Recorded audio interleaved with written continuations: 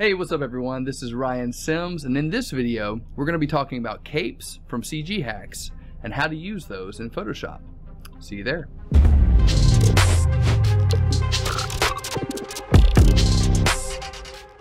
Alright, so here we are in Photoshop, and we've got this really fun image of Supergirl, and we're going to play with some capes. Now, we have two different types of capes. Let me open up Adobe Bridge and show you real quick. We've got our clean capes, and our torn capes. So I'm going to use clean first and show you with this image of Supergirl how we would use those and then in a moment we'll pull up an image of Batman and do some of the torn capes. So real quick, let's just kind of scroll through, give you a brief look at some of these capes. I've starred a couple that I think I'm going to use for this composite. And then we've got our torn cape. So if I click on one, you kind of look at it, you see like there's some holes here and some, some rips and tears. Very, very cool. So I've picked out two of my favorites. Uh, I could find just one cape image that I wanted to use, but I'm actually going to use two cape images and kind of show you what I'm thinking here. So I'm actually going to grab this image and this image here. And I'm going to take both of these images and I'm going to drag them in Photoshop. And I've already selected where they're going to go. Right now those capes are going right underneath my Supergirl layer. So I'm just going to go ahead and hit enter for that first one to let it load in. And the same for the next one. And let's work on one at a time. Let me turn this one cape image off and show you what I'm thinking about on this one. Now before I do anything here, let me drag this image all the way to the top and just show you how I would change the color of this cape if I wanted to do that. It's already red, which is perfect for what I'm trying to do with Supergirl, but let's just say that you're working with a different superhero and you wanted to change the color of the cape. What I would do is just really quick and easy. I would just go up to the adjustments panel and just hit hue and saturation. And when that layer pops up, I would just click on this little box right here. That's going to clip the hue and saturation layer to your cape layer. And that way, anything that you do will only affect the cape and not the rest of the image. I'm going to click on this little circle right here. And once that is done, you can mess with this hue and saturation slider and change it to whatever color you want. There are other ways that you can do this. This is just a quick and easy way to change the color of your cape. But for this video, I'm going to leave it on red. So I'm just going to delete that hue and saturation layer, drag my cape back down to where it was, and show you what I'm thinking for this image. So this cape is really big, and so I don't want it to be that big. So I'm going to hit Control T, which is going to put our cape in this little transform box. And uh, I'm actually going to take the outer edges. I'm just going to kind of slide this in just a little bit, make it a little bit smaller. And right where you see these little highlights on the cape, I'm going to try to line that up with her shoulder line here. And so I might kind of take this outer corner here and rotate the cape. That way it kind of lines up a little bit better with the lining of her shoulder there, something like that, and hit enter because I'm happy with uh, the way that that is placed currently. Now if I wanted to maybe manipulate this cape a little bit further, one really cool way to do that is with the warp tool. So with your cape layer selected, you can actually go up to edit, transform, and down to warp and click on that and you're going to see this little box pop up that's going to have some rows and columns. The main thing to pay attention to, basically these little levers here, you can kind of move them around and kind of warp your cape. But really, it's pretty simple. You just kind of click in the area that you want to move it and then just move it. So let's say I want this to come up higher. I'm just going to click right here. I'll just click on it, drag it up. If I want this to come down some, I'll click right here, drag down, maybe bring this part back up that matches with the shoulder. So I'll drag that part back up. And you can see it's really easy how to use this tool. If I wanted to bring this up, I'd click here. I would just bring it up like that. So let's say that I'm happy with that. We've got a nice little lead in with the cape right here. It looks like it's really fluid with her shoulder. And I like that. So I'm just going to hit enter so I can be done with that part. I'm not a huge fan of this little part sticking out right here. So what I might do is I might hide that. So the best way to do that would be just to select your cape layer, click on the mask, and uh, with a black brush, just paint that part out like so. Now I could just leave it right here at that cape, but I actually want to make it kind of flow over onto this side as well. And so what I'm going to do is I brought in this other cape layer. I'm going to turn it back on and kind of go through the same process. I'm just going to click on that layer, hit Control T to bring up our transform box. and resize it. I'm just going to bring it down over here on the edge, maybe move it back over here some. And if I really wanted to, I could actually transform it a little bit right here. Maybe hold the control key down and click on this little box on the outside, move it up like that. If I wanted to stretch it out here, I could. Here at the top, all kinds of things that we could try with that. But once I've kind of moved it in the position I want to keep it, I'm just going to hit enter. Now again, I'm not a huge fan of this part right here, but we might be able to fix that. We used the warp tool before. This time I'm going to show you the puppet warp tool. And so with that cape selected, I'm going to go up to edit and puppet warp and click on that. And so this is a really cool feature that allows you to set anchor points and you can move those anchor points uh, where you decide to set them. So I'm going to put one right up here at the top and remember, where, whatever anchor point you set, it's not going to move unless you move it. So I'm going to put one there at the top. I'm going to put one right here at the bottom. Maybe one over here at the outer edge. And one right here. And so I want to move this up a little bit. So I'm going to take that anchor and I'm just going to drag it up like this. Maybe out just a tiny bit. Something like that. And this part at the top I'm going to drag down. That way we don't have to see it which will affect the rest of the cape, but that's okay. If we need to, we can always add another anchor point and move it up as well. Something like that. Don't like that little fold right there, so I'm actually going to hit Control Z to undo that.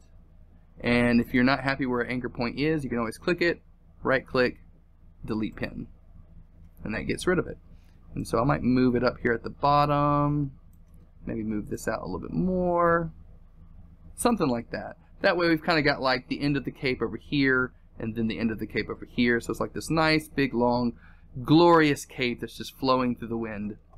And so let's say I'm happy with that. I'll just hit enter and there you go. There we have our cape. And so maybe if we wanted to make this seem a little bit more realistic, I could maybe add some shadows after all, uh, there is light kind of coming from the top right here, and naturally if there's a cape kind of blocking that, it might be a little bit more shady in this area, and maybe even just a tiny bit more shady on her as well.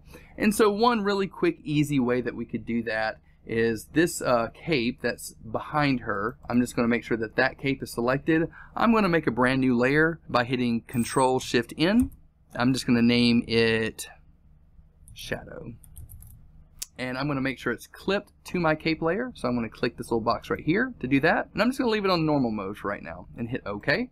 And so on this shadow layer, I'm going to take my brush. I'm going to hit B for brush, which is this tool right here if you want to click on it in the toolbar. And I'm going to make sure I have a nice black color selected. And really lightly, what I may do is I can uh, right click and control the size of my brush. I'll probably keep it right about there. Hardness at zero. Um, my flow, I'm probably going to move down to like maybe 5%, hit enter, and I might just really gently kind of brush in just a little bit of a shadow right here. Make it seem a little bit more shady in this area. And I'm controlling uh, with hotkeys the size of my brush by clicking the left and right bracket tool. And I may even add some on this area over here. And so we've got a nice little shadow there. I can click it on and off you ever feel like you've gone too heavy with it, you can always drop down the opacity, maybe to like 85% or so.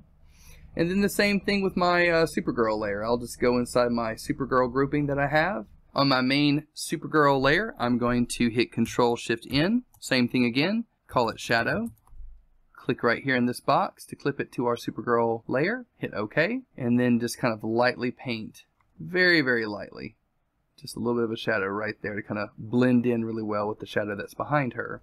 And so you can see a quick before and after. It's just a subtle, subtle difference, but it makes a big difference. And if that's too much, you can always lower the opacity. Maybe start maybe like 80%, go down to 75%, something like that. And I think that's nice. It's just a quick way that we can utilize capes in our Photoshop composites. Now let's switch gears a little bit and move to this image of Batman and show you how I would use our torn capes. So I'm going to go back into Adobe Bridge. I've already selected a couple of favorites. Uh, I imagine his cape kind of blowing off to the side here. And so I picked a couple of capes that I feel like would kind of envision that. This one and this one look really good because they seem like they're a little bit more backlit. And obviously because there's a bunch of fire back there, that's kind of the look that we're going for. So this one or this one could work. I may drag them both in there just to kind of see how they work. So I'm going to take both of these images, drag them into Photoshop, and I'm going to go ahead and hit enter even though they're not in the right place just yet. But they will be. And so yes, here they are at the top. I'm just going to take them, drag them down to right below my Batman layer right there. They're both kind of facing the wrong way, so I've actually got them both selected right now. And how I do that is if I just click on one cape layer, hold the control key down, and click on the other, that selects them both. And so with them both selected, I'm just going to go up to Edit, transform, flip horizontal. And that's going to flip both of these capes in the direction that I want them to go. So real quick, I'm just going to look at one cape at a time. I'm to start with this one. Same as before, hit Control T. I'm going to play with the resizing of this image. Like maybe even something like that. Like I may get rid of this part right here, but drag this over a little bit. And even with it the way it is right now, kind of being cut off, I'm okay with that. I don't have to have the whole cape in the image if I don't want to. So if I want to color grade this cape really quick, what I could do is I could actually go up to a curves layer in adjustments, click on that, same as before, click this little box right here to clip it to our cape. And what I'm going to do is with this little box selected, I am going to hold down the Alt key and click this little auto button right here and that is going to pop up this little menu for our auto color correction options. I'm going to click on find dark and light colors and for shadows I am going to click that and find what seems to be the darkest part of the image probably like right here in this area right here something like that and you can see that the blacks start to kind of fade with the other dark black uh, spots of the image and hit OK. Same thing with the highlights. I can click right here and maybe the brightest part of this image, like right in this area right here. Click on that. You can click around a little bit if you want to, if you really want to see a huge difference with it. I may go a little bit more, more yellow or orange. Let's go with that orange right there because that looks like that just blends a little bit better. And I'm going to hit OK. Not going to mess with the midtones too much because it doesn't really do a whole lot to the image anyway. I could just click on something just to kind of show you. You don't really see a huge difference whenever you mess with the midtone. So I'm just going to hit cancel. I'm going to hit OK. And then it's going to pop up this little menu. You're just going to hit no. And just a quick before and after. That's before. That's after. Already blends with the image so much. And so if I wanted to add some highlights to this image, I could. A quick way to do that would be to create a new layer, Control Shift N. You can call it highlights make sure you click this little box right here. And I'm going to leave it on normal at first so I can see what I'm doing and then I'll change the blending mode. I'm going to hit OK. And normally what I do is I'll, I would just take the surrounding colors that are bright, the highlights, and add them to this right here. So like let's just say this bright yellowish orange right here. I'm going to hit my eye hotkey, which is going to bring up my eyedropper tool. Click in that color right there. And then what I'm going to do is hit the G hotkey to bring up my paint bucket tool. And I'm just going to click on that cape or click within this layer here that's going to fill it that color. And I'm not going to leave it that way. I'm going to double click on highlights. And with this menu popped up I'm going to drag it over to the side so I can kind of see what I'm doing here. And right here on underlying layer I'm going to take this little slider and slowly drag it across this image so you can kind of see where those highlights start to kind of fade in just a little bit like that. And then maybe hold the alt key down to split this slider and fade it even more real gradually something like that. And then I would hit OK. And now that we've done this I'm going to play with the blending mode. So I'd click right up here and just kind of experiment. Overlay might work really well uh, sometimes color dodge looks really nice linear dodge vivid light hard light so really you can just kind of use your best judgment on what you think looks really good. I like more of the yellowish orange, not so much the hard orange, but that looks really good too. So we could probably spend forever and a day deciding on what blending mode we want to go on. But I think I might leave it at color dodge, right about there. And once again, quick way that you can use capes and add in highlights. One other really cool thing that might be really neat is if you click on your capes and you want to add a little bit of a motion blur to your image, you can actually go up here to filter, blur gallery, and go to path blur. And this is a really cool way to add a motion blur to your images in the direction that you want them to go in. So right now I can set a start point maybe right up here at the top of where the cape is on his shoulder, put my end point where the ending point of the cape is, and then drag this little center point in the direction the cape is going. And then I can add another anchor point and move it around, kind of like with Puppet Warp, only for motion blur. And if I wanted to start another one, like right here, and do the same thing here with since it's kind of whipping in a different direction, click right there, and do something like that. And it's going to keep wanting to add more. Just double click to get out of that. And I don't want this one right here. I want to click it and hit delete. I'm going to click this one and hit delete. I'm going to move this one up and move this one up as well. And then from there you can just see how much you want to add uh, to the motion blur. So I might take that down by half, like instead of 50 go to 25, something like that, just to give it a little bit of motion blur and then hit OK. And so now we've added a little bit of a realistic motion blur in the direction the cape is actually flowing. So that's it. That is how you use capes in Photoshop. We have the clean version and the torn version, and I showed you how we would use those. We talked about adding highlights. We talked about motion blurs. We talked about transforming your image and putting it in the place that you want it, resizing the image, using the warp tool, using the puppet warp tool, hue adjustment layers to adjust your color, adding shadows to your image. So get in there, get creative, have fun. If you're interested in these capes, check out the link in the description below. And until next time, keep it real, keep it simple, and keep it creative.